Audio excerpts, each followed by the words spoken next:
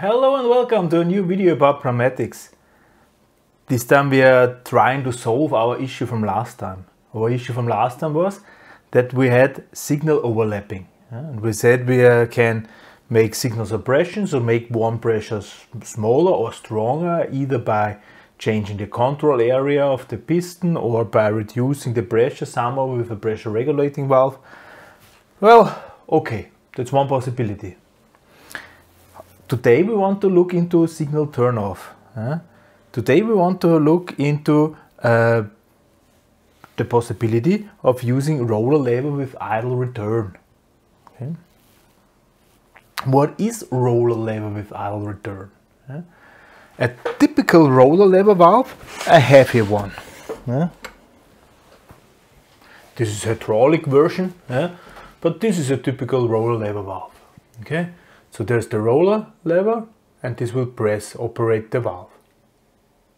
Uh, and if something comes now from this direction, it will operate. If something comes from this direction, it will operate. Uh, does not really matter from which direction something is coming. Yeah? A roller lever somehow looks pretty much the same. Yeah? However, the roll is mounted with an additional joint uh, and, and this additional joint is enabling the roll to yield in one direction. So it's pretty much working like the hand. Yeah? If I'm going in this direction, the roll must press down. Okay? If I'm going in this direction, the, the roll may be yield due additional joint. Yeah? So in this direction, the joint is at the limit, it cannot extend, so the valve will be operated.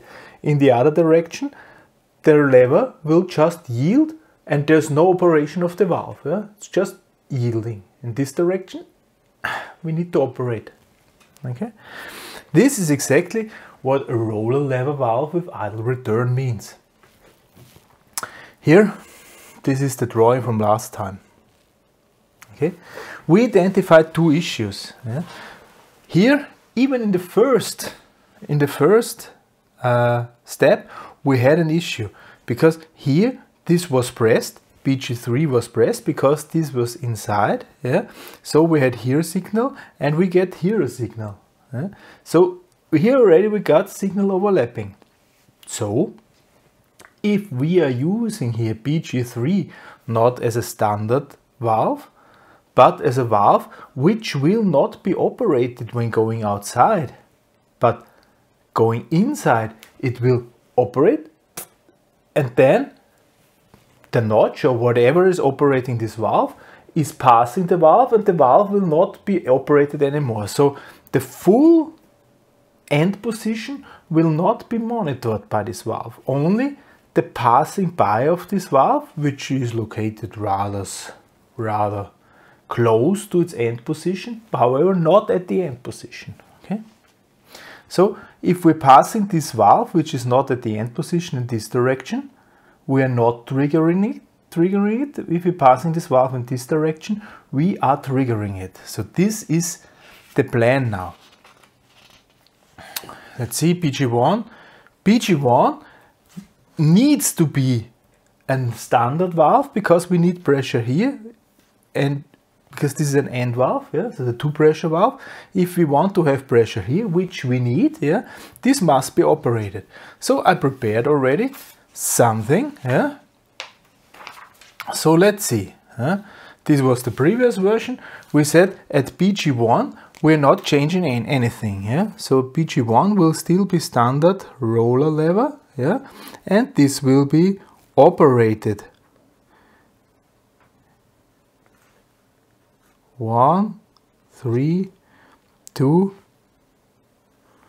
So this looks pretty much the same. However, this valve now, this is now a roller lever with idle return, looking like this, the symbol. Yeah. So this additional joint here is simply shown and of course in standstill it's no longer operated. Yeah? That's the that's the trick about it. Yeah? So here now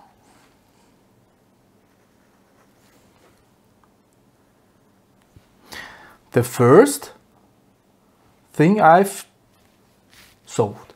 Huh?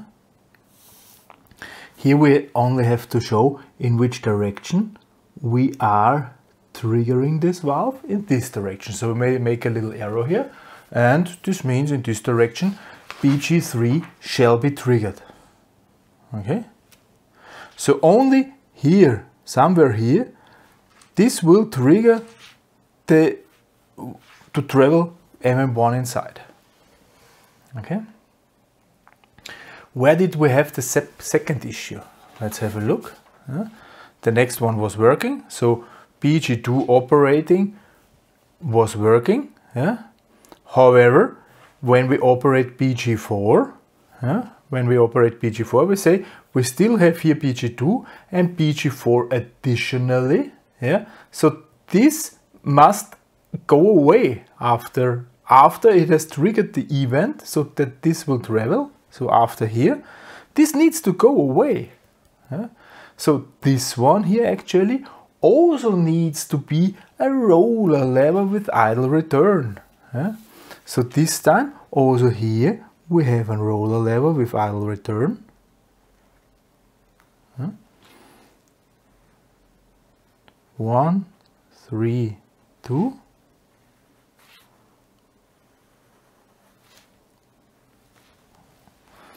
And this time we will trigger it by going outside. Okay, but not in the end position. If we are at the end position, we are already past this and this will look like this. Okay. BG4, we said we have no issue, right? So if BG4 is touched, here we can immediately go in. So BG4 can be again standard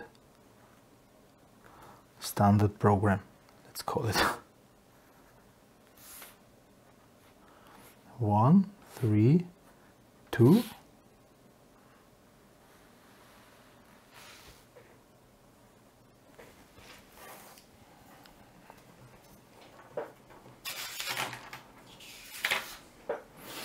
okay so now we think we have solved this. Let's see. Let's see. Start. We are starting here. This was moved inside. This has been triggered, but not long and longer triggered. So we assume simply why we are at the left position. And this is already a big disadvantage of this. We cannot be sure just because this and this does not mean to have a, contact, yeah, are not touched mm, does not necessarily mean we are at the full left position. It might be somewhere else. The only thing we know, BG3 and BG4 are not operated. Okay? We say, we think, we assume that's it. This is how it's working. So BG3 is not operated, so there is no pressure. If I press this button here, I have only one pressure, so this signal overlapping is solved now. This will switch? So this will travel outside. BG1 will released, will be released. There is no pressure. This remains right. No issue there. Yeah, we will travel outside. This is this first step, and somewhere close to the end, but not at the end, we will shortly make a signal here passing this, yeah? because we will operate this arrow to the right if we're going outside. So this will then trigger here. This is currently not touched, yeah, because this is not operated. Yeah? So this will switch, switch. So this will travel.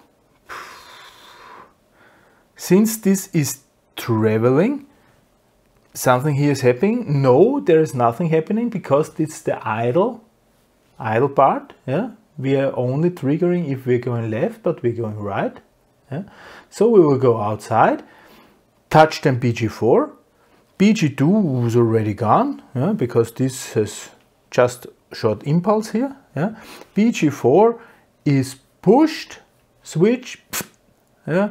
travel inside again, and now BG4 is released again. No issue there, there's no pressure. After a while, we will get to BG3. So we are here now. Yeah? BG3 is shortly triggered. Yeah? And this shortly triggered because here is no pressure because BG1 is pressureless and also probably SJ1 is already released by somebody. Uh, this will and this will go in. Now it's working. Now it is working. Okay. So we have turned off the signal which are overlapping by using idle return valves. However, the issue here is that the end position, like I mentioned, they are not monitored. This can simply be stuck somewhere or whatever. Yeah, This is simply not monitored. If it's going in, shortly touching this and going out again, nobody will notice.